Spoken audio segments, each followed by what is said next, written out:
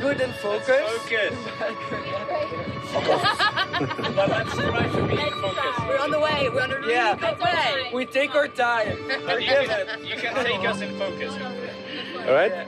Is the light okay? Yeah, it's, the light is pretty good. Yeah. Yeah. Like maybe the bigger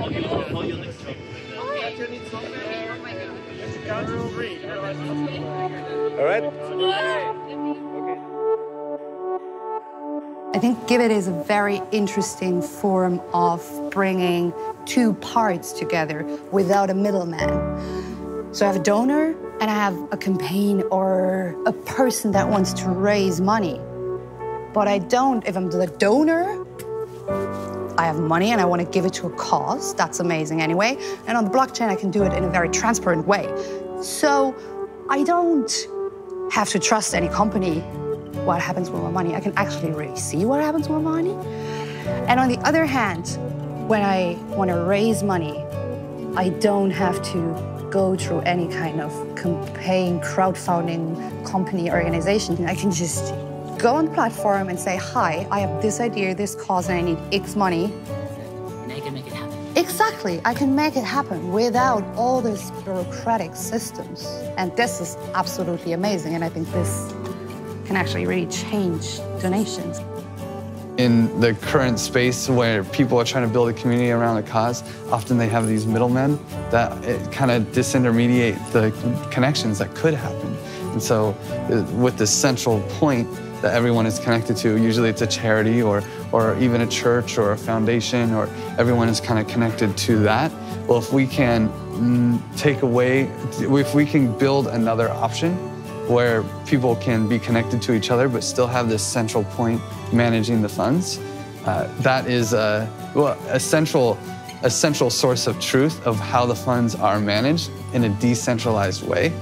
Uh, we can focus more on those connections between the, the people that are donating and the people receiving the donations. Connecting those groups of people, to me, that is the most exciting part about it, about Give.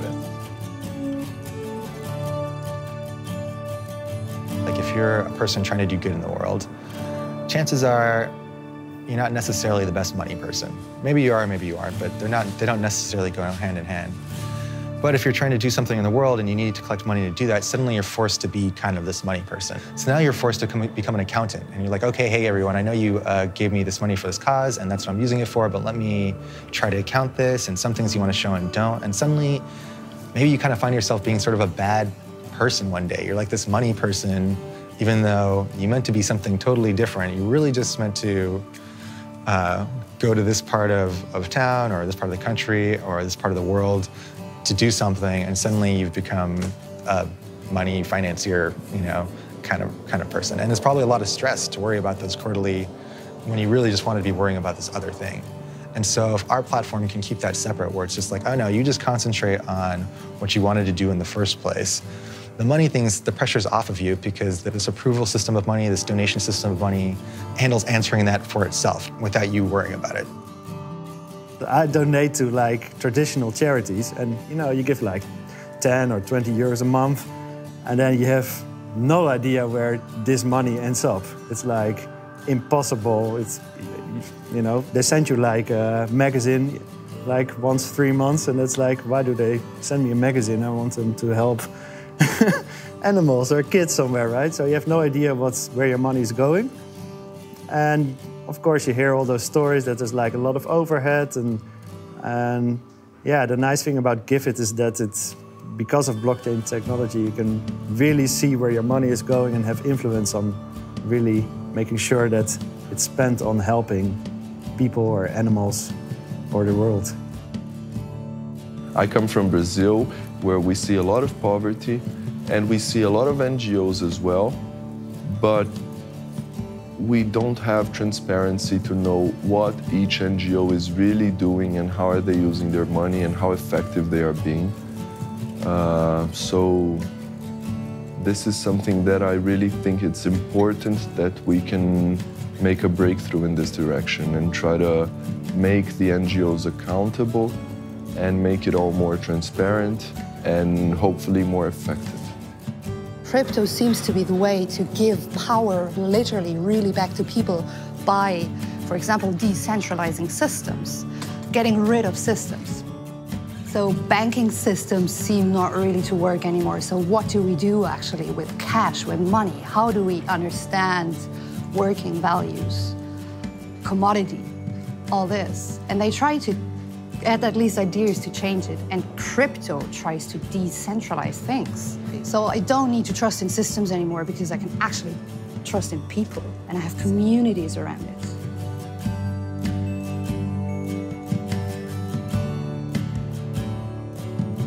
People took this so seriously that they went outside of, of, the, of their town to other towns to find out the cheapest way that they could actually do this, you know, to build that tank or to, to build that road or to, to bring that uh, power. And it all was because they were empowered to do so.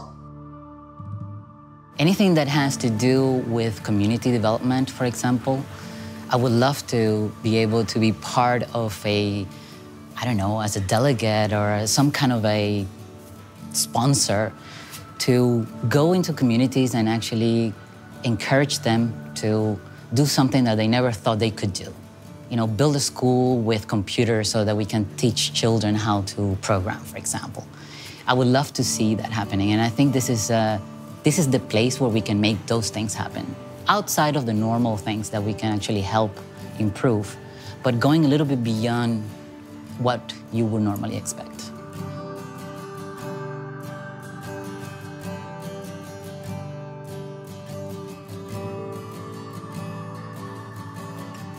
We have uh, some ways to call it. We call it the Giveth or the Unicorn DAC. And we operate this, uh, this um, the development of Giveth uh, under a DAC model. And um, for me personally, I think I will, uh, I will use Giveth and start something or contribute to something. But right now, I don't think too much about what they could be. Like, I see so much potential for change in so many places. And um, I think in the end, you should probably go where your heart leads to. I'm a developer. We were so different, but we were just sharing this, start sharing this, this, this, uh, this, this vision. I started probably more from the more technical side. You know, I developed the MiniMe think that the good token is, is fundamental for accountability, you know, from more technical side. Um, it's important for the governance and for the voting, and for me was important piece of these new societies. I see Giveth in 2027 as an operating system for people to connect with each other and interface with each other in, within their community so that they can mm, collaborate on causes so they can build a, a specific solution, or not even a specific solution, but many solutions, and see which ones work to solve the problem. It's just a tool. It's like the hammer doesn't get credit for building the house. You know, the people are will be using Giveth as a hammer to build their dream and make that dream a reality, build a solution for that dream. Like so many technologies, I believe that in 10 years, blockchain will be ubiquitous. You might be getting paid for, for a job you did online, for collaborating, for offering a few hours of your time. And you will receive some money on your wallet. And in a way, it doesn't even matter if it's on the blockchain or what technology specifically or what blockchain is being used.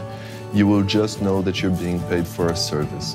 And in the same way, I hope that Giveth will be uh, a standard platform for people to collaborate on their own projects and causes and communities and to build on top of Giveth what they would like the future to be.